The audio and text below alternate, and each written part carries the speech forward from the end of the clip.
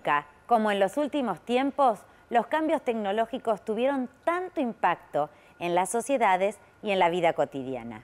Nunca la ciencia y la tecnología abrieron tantas posibilidades de cambio, de progreso y de desarrollo. Por eso, hoy vamos a enfocarnos en la responsabilidad social del Estado en relación a estas áreas y en la RSE de distintas empresas del sector tecnológico. Cómo la conciben, qué hacen por la comunidad, por la educación, por el ambiente, cuáles son sus programas y cómo utilizan las herramientas tecnológicas con fines sociales. Soy María Laura Leguizamón y así comenzamos con 40 minutos de RSE. Hoy, en 40 minutos de RSE, ciencia, tecnología, innovación y responsabilidad social del Estado. La visión de Hugo Devido, secretario general del Consejo Federal de Ciencia y Tecnología. Sabre Holding, Globant y Grupo ASA, su compromiso con la sociedad y sus programas de RSE. Gestión socialmente responsable y tecnología. El análisis de un especialista, Gerardo Renzetti. Y la palabra del doctor Bernardo Klicksberg. Solo por el hecho de haberse creado en 2007, el Ministerio de Ciencia, Tecnología e Innovación Productiva refleja la importancia y el impulso que en los últimos tiempos se le ha asignado a estas áreas. En este contexto, hablamos con Hugo Devido, secretario general del Consejo Federal de Ciencia y Tecnología. El Consejo Federal de Ciencia y Tecnología tiene como prioridad eh, fundamental la de asesorar al ministro en todo lo referente, lo concerniente a eh, las políticas de ciencia y tecnología que se están realizando en el país. Eh, y a su vez poder transmitir y articular con los demás ministros, directores o secretarios de ciencia y tecnología que están en el país eh, las políticas que emanan del Estado Nacional y de este ministerio. A su vez, tiene como una misión fundamental y accesoria que son tener la posibilidad de líneas de financiamiento para proyectos que venimos teniéndola desde el, 2000, año 2004 cuando empezamos eh, con, esta con esta nueva política de ciencia y tecnología para el país. La ciencia y la tecnología para poder desarrollarse de una manera socialmente responsable eh, es siendo una política de Estado. Eh, cuando hablamos de una política de Estado, lo que estamos diciendo que eh, es una política que está destinada a mantenerse a lo largo del tiempo y de los tiempos. Es decir, eh, surgió como una necesidad que tenían las políticas de ciencia y tecnología que se venían implementando en el país a lo largo del tiempo. Una ciencia y la tecnología que en materia de ciencias básicas tuvo eh, destacados éxitos como los premios Nobel que supo tener la Argentina en esta materia, pero a su vez, y es muy importante, el vuelco copernicano que se le dio a esta gestión al considerarse a la ciencia y la tecnología ya no como un bien de unos pocos o un bien destinado solamente a engrosar el conocimiento o el conocimiento por el conocimiento mismo, sino que pasó a considerarse la ciencia y la tecnología como un bien social. Es decir, pasó de ser la ciencia y la tecnología como un hecho de pensarse en sí mismo a un hecho de pensarse en sí mismo, pero con proyección y transferencia hacia los demás. Globant, Grupo ASA y Sabre Holdings son empresas del sector tecnológico vinculadas a la innovación, a la producción de software y a la tecnología de la información.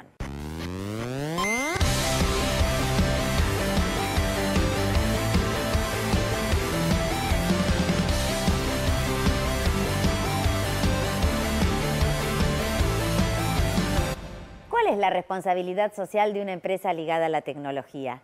¿Implica un mayor compromiso? ¿Tienen más herramientas u oportunidades de colaborar con la comunidad y con el desarrollo social? Veamos algunos de estos testimonios.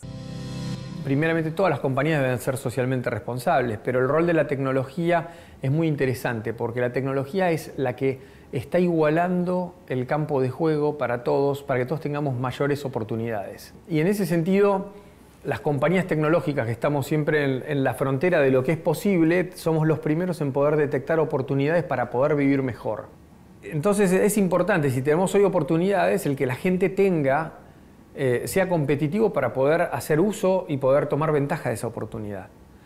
En los últimos 50 años el sistema educativo no ha tenido significantes eh, digamos, una transformación significativa al mismo tiempo que la tecnología y el mercado han tenido muchísimas transformaciones. Entonces creo que el rol de las compañías en la educación es fundamental. Lo que vemos en este sentido es que nos interesa mucho colaborar con, los países donde trabajamos y donde vivimos y ese es el foco principal al que le ponemos eh, al tema. Entonces hay muchas cosas como por ejemplo mucho acceso a educación a través de la tecnología hoy que es mucho más simple, eh, yendo a otras ramas. ha proliferado mucho también la educación a distancia, yo creo que en ese sentido la tecnología ha aportado mucho, acercar el conocimiento a personas que de repente geográficamente están lejos. Definitivamente el desarrollo social tiene que ver con la educación y en ese sentido también digamos, que hay un aporte importante. Nosotros creemos que tenemos una responsabilidad doble las organizaciones que estamos en tecnología de información. Por un lado tenemos un privilegio de haber sido profesionales, de estudiar. Nosotros hoy somos cerca de 1.500 profesionales que venimos de distinta especialidad. Y que nuestro negocio es el conocimiento, usar la tecnología y usar el conocimiento para la transformación. Nosotros creemos que tecnología de información, así como lo aplicamos en nuestro cliente para la transformación de la empresa, también podemos utilizarlo para ayudar en la transformación social, para ayudar, en nuestro caso, en particular a jóvenes que puedan utilizar tecnología de información para mejorar sus oportunidades para el futuro. Una gestión socialmente responsable implica una planificación estratégica que nos sirva de guía y la tecnología puede ser un gran aliado en todo ese proceso de trabajo. Gerardo Renzetti profundiza sobre este tema. La responsabilidad social tiene que ser llevada adelante también a partir de una gestión inteligente. O sea, la responsabilidad social no es más de que ver cómo los proyectos que yo llevo adelante inciden en el ecosistema primario de mi organización y cómo puedo medirlo y evolucionarlo en el tiempo. Y de esta manera, para construir los mecanismos que controlan y apoyan estos procesos, la tecnología es estratégica. ¿sí? Pero estamos viendo la tecnología como una cuestión transversal de apoyo a la responsabilidad social. Y no hablamos de responsabilidad social de las empresas de tecnología, porque esa es RCE pero separando el término, y es importante, sí, la tecnología como cuestión transversal es estratégica porque la responsabilidad social se lleva adelante a partir de, proyectos que sean gestionados a partir de la gestión inteligente y que son apoyados a partir de plataformas tecnológicas. El Consejo Federal de Ciencia y Tecnología promueve que el conocimiento y los avances tecnológicos lleguen a todos los rincones de nuestra patria. Sobre su importancia, seguimos conversando con Hugo Devido. ¿Qué significa la federalización? Es que las provincias nos acercan a nosotros cuáles son sus problemas, sus dificultades o hacia dónde quieren impulsar ellos para solucionar problemas productivos o sociales sus demandas tecnológicas. Por el otro lado, teníamos que revertir un proceso eh, difícil y de larga data que era el tema de las asimetrías regionales. Es decir, había provincias muy ricas que recibían muchos aportes y provincias que no habían recibido aportes nunca en toda su historia eh, de los instrumentos de financiamiento que tiene el Ministerio y la agencia en su momento y que hoy siguen manteniendo, con la diferencia que cada provincia recibe la misma inversión dineraria que cualquiera de las otras provincias. ¿Esto a qué nos ha ayudado? algo fundamental, es que los otros instrumentos con que cuenta el Ministerio y la agencia puedan acceder ahora sí provincias que antes estaban postergadas. ¿Por qué? Porque le faltaba este primer arranque y este primer desarrollo que eh, lo pueden dar nuestras cuatro líneas de financiamiento destinadas a, a sanear estos problemas. Estas líneas de financiamiento tienen una característica y es la tercera característica fundamental que es la transferencia del conocimiento. Sin la transferencia del conocimiento no puede haber una ciencia y la tecnología responsable, no puede haber una ciencia y la tecnología que se vuelque a la sociedad y hacia, hacia la industria. Vimos que la educación, por las posibilidades que la tecnología le abre, puede ser un pilar en materia de responsabilidad social para las empresas. Vamos a conocer algunos programas de RCE que trabajan en ese sentido. Una de las dimensiones llamamos Formando Futuro. Es un programa que tiene que ver con ayudar a jóvenes que están finalizando su educación media a que tengan un futuro mejor. Este programa se implementa con una serie de talleres que se hacen en las escuelas y después unos campos virtuales en los cuales ayudamos a los jóvenes a, utilizar herramientas de tecnología de información, por un lado para potenciar sus, conocimientos, saber utilizar un procesador de texto, una prensa electrónica, una herramienta de presentación, a utilizar redes sociales, a cuidar un perfil que van a presentar en estas redes sociales como medio de presentación en el mundo, pero también a buscar una beca para seguir estudiando y también para buscar trabajo y para presentarse ante el mundo laboral con mejores oportunidades a través del uso de esta tecnología de información. El programa Testear es un programa de capacitación para inclusión laboral. Nosotros lo que hacemos es capacitar a jóvenes en situación de vulnerabilidad de entre 18 a 25 años en manual testing. El manual testing es eh, una parte del proceso del desarrollo del software en el que se hace el control de calidad. Esta es una posibilidad concreta, es un curso de cuatro meses intensivo, de cuatro horas por día, de lunes a viernes, en el que los capacitamos no solo en manual testing, sino también en inglés técnico y desarrollo profesional y personal, con lo cual se brindan hoy por hoy y se van a brindar a futuro muchas más oportunidades para estos chicos. Continuamos hablando con Gerardo Renzetti.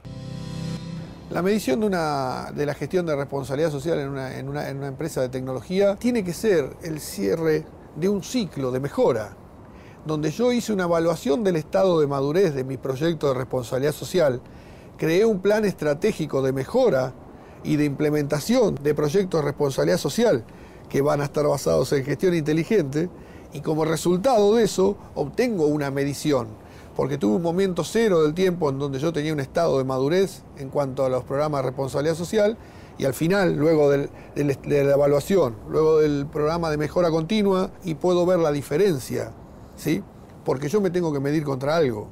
¿sí? Entonces lo primero que hacemos es detectar el estado de los proyectos de responsabilidad social de una organización en un momento cero del tiempo y cómo después de un proceso de consultoría estratégica inteligente sobre gestión, apoyada por tecnología, nos podemos medir y ver cómo hemos evolucionado. Ya salió Fonres RSE, la única revista dedicada a la responsabilidad social empresaria. En este número, entrevista exclusiva a Hugo Sigman y Silvia Gold, un dúo que lucha contra el Chagas. Las nuevas tendencias en la columna del doctor Bernardo Klicksberg, líder mundial de la responsabilidad social empresaria. Y como siempre, noticias internacionales, investigaciones y la mejor información sobre contenidos socialmente responsables. Fonres RSE. Conseguila en kioscos o suscríbete a nuestra página web www.fonres.com.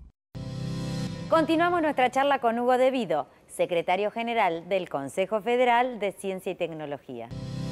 Hoy la ciencia y la tecnología eh, tiene tres pilares fundamentales para el desarrollo eh, armónico eh, de un país y de una sociedad. La biotecnología, la, la nanotecnología y las tecnologías de la comunicación. La ciencia y la tecnología pasó de ser algo para pensarse en sí mismo como para transferirse. Es cuando nosotros hablamos de un bien social.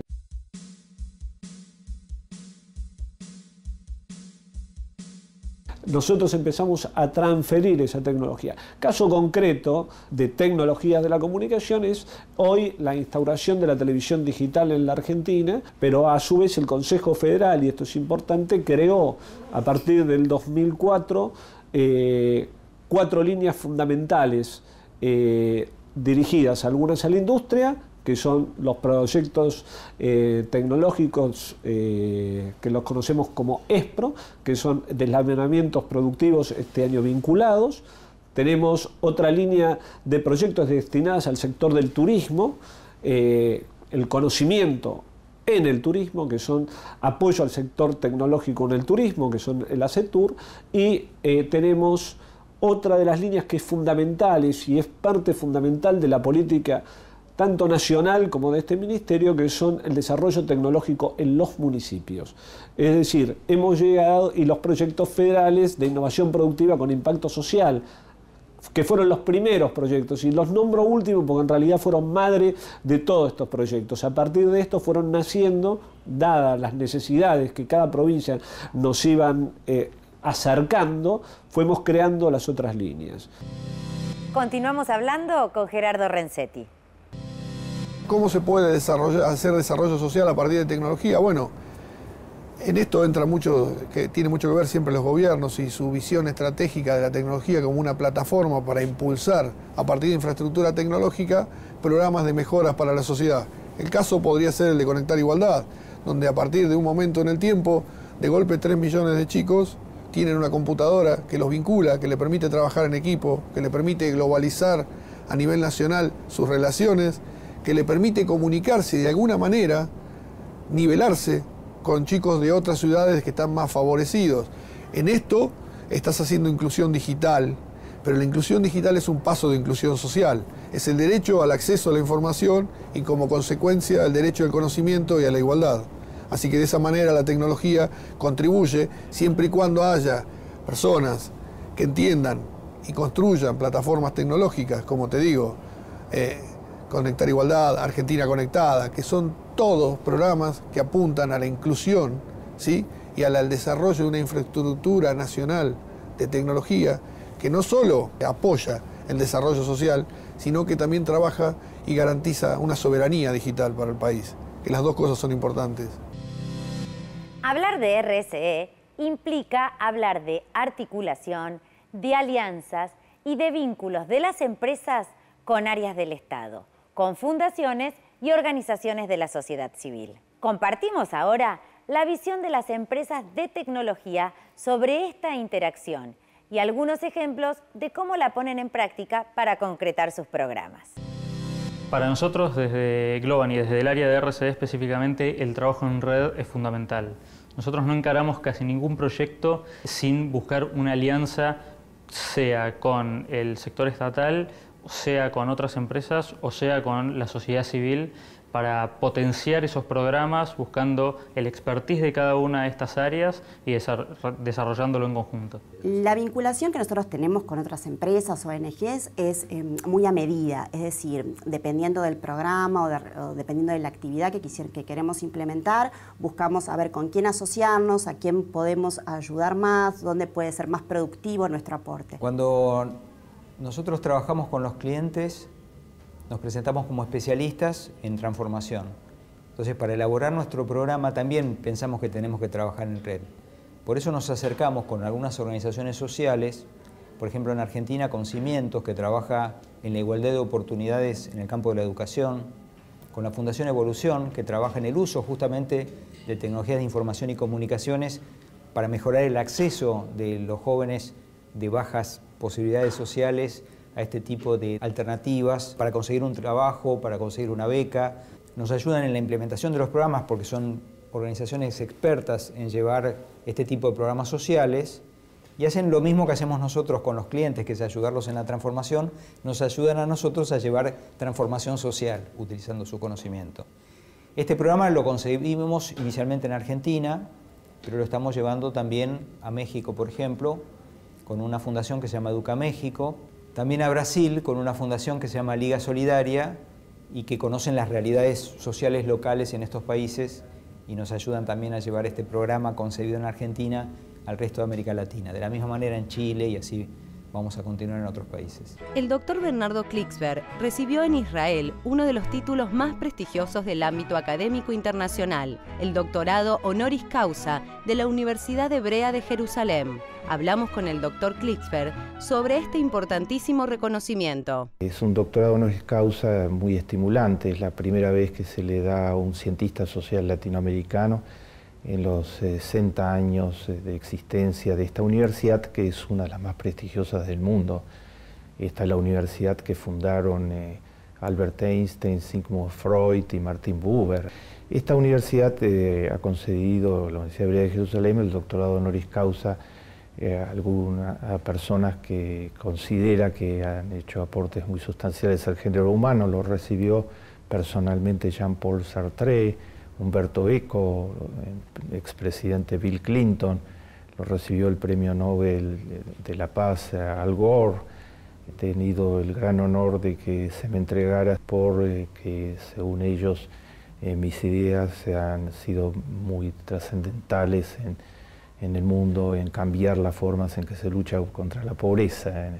Y en abrir nuevas disciplinas como la ética para el desarrollo, como el capital social. Resumiendo lo que es mi humilde aporte, eh, les señalé que Albert Einstein había planteado que eh, la ética tiene que dirigir la ciencia, que la ciencia no puede ser neutra. Eh, yo estoy señalando que la ética tiene que dirigir la economía y hasta ahora ha sido al revés. Ya conocimos varios de los planes y acciones de RCE de empresas tecnológicas. Ahora veamos cuáles consideran que son sus logros más importantes en este campo. Me gustaría decir que desde el punto de vista de, formar capital humano hemos hecho un gran trabajo, pero principalmente te diría que Globant ha generado no solamente eso, ha generado a través de, de un modelo de fomentar un espíritu emprendedor, ha fomentado y enriquecido el ecosistema emprendedor que realmente es muy bueno en nuestro país y ha generado también un nivel de credibilidad y de visibilidad para nuestro país como proveedor de tecnología. Y después está el tema de nuestros esfuerzos en, educación, donde tratamos de trabajar mucho en la inclusión de gente que hasta ahora ha sido marginada de este tipo de industrias. Para Globan es muy gratificante poder hoy decir que estamos tomando gente de los cursos que estamos desarrollando, como por ejemplo de testear. Hoy tenemos varios egresados de testear trabajando con nosotros y que están creciendo dentro de la empresa y haciendo crecer su carrera dentro de la empresa. Nosotros sentimos que, tenemos, que tuvimos muchos logros en materia de responsabilidad social porque entendemos que las actividades que hicimos tuvieron un impacto muy positivo en la comunidad, que es de última el, objetivo que perseguimos. Lo vemos como un círculo virtuoso donde estamos ayudando y colaborando a gente que realmente lo necesita y al mismo tiempo nos estamos ayudando a nosotros como personas eh, y en consecuencia como empresa, ¿no? porque al estar mejor nosotros y tener una mejor interacción entre las personas que trabajamos en la empresa genera un mejor ambiente de trabajo y bueno, todo redunda en beneficios para todos. Los logros que conseguimos en responsabilidad social empresaria, yo creo que primero fue establecer un programa donde podemos hacer lo que mejor sabemos hacer. Estos programas se hacen con voluntariado. Los que somos voluntarios de este programa de responsabilidad social utilizamos tecnología de información y conocimiento, que es lo que utilizamos cotidianamente para ayudar a los chicos a conseguir mejor trabajo o para seguir en su educación y que tengan igualdad de oportunidades y que tengan igualdad de posiciones, no solo de oportunidades en su vida futura. Continuamos hablando con Gerardo Renzetti. La importancia de que una empresa de tecnología sea socialmente responsable, como te venía diciendo hoy, es igual que cualquier otro tipo de empresa. La diferencia es que sobre lo que trabajan, de alguna manera lo pueden hacer transversal y no solamente hacerlo sobre su único espacio de incidencia como le puede pasar a otros. Algunas empresas de tecnología tendrían la factibilidad de que su acción de responsabilidad social no solo caiga en sus nichos directos, sino que de alguna manera podría hacerlo transversal al resto de la sociedad de acuerdo a qué tipo de estrategia de responsabilidad social lleve adelante. Pero dada la tecnología, como te decía hoy, que es transversal, apoyando procesos a todos, alguna empresa podría construir algún programa de responsabilidad social que elevara estos estándares de apoyo. Continuamos nuestra charla con Hugo Devido, secretario general del Consejo Federal de Ciencia y Tecnología. Fundamentalmente la ciencia y la tecnología tiene eh, un impacto social importantísimo, es decir, eh, no solamente eh, vamos a hablar la importancia que tiene la ciencia y la tecnología en los procesos eh, industriales o en los procesos productivos, en los cuales el conocimiento hoy viene a agregar un valor al tema de, a, la producción en cuanto a procedimientos, en cuanto a capacitación, en cuanto a especificación y también a eliminar a aquellos que dicen que la tecnología eh, abuele fuente de trabajo, no, la, la, tecnología crea nuevas fuentes de trabajo. ¿Por qué? Porque si bien hay trabajos que la máquina reemplaza el trabajo del hombre, se crean nuevos puestos de trabajo porque se necesitan para hacer esa ciencia y esa tecnología, se necesitan nuevos científicos, nuevos tecnólogos o nuevos operarios, hoy informáticos, eh, oficiales y demás, requiere toda una nueva especialización, desde el obrero hasta, hasta el más especializado de eh, los trabajadores, requieren de un nuevo conocimiento y una inserción en esta política de ciencia y tecnología. Eh, fundamentalmente por eso, Eh, eso en cuanto a los procesos industriales. En cuanto a los procesos sociales, eh, es muy claro. O sea, hoy tener, por ejemplo, los proyectos que nosotros financiamos, de proyectos de desarrollo tecnológico en municipio, tener la informatización o la gestión municipal de una manera rápida y ágil, mejora necesariamente la vida y el bienestar de la gente. Los avances en ciencia y tecnología abren infinitas posibilidades en todas las áreas. Un desafío es cómo aplicar de la mejor manera sus herramientas para potenciar ese ganar-ganar que implica la responsabilidad social empresaria, con beneficios para todas las partes involucradas. Gracias por acompañarnos. Nos vemos en los próximos 40 minutos de RCE.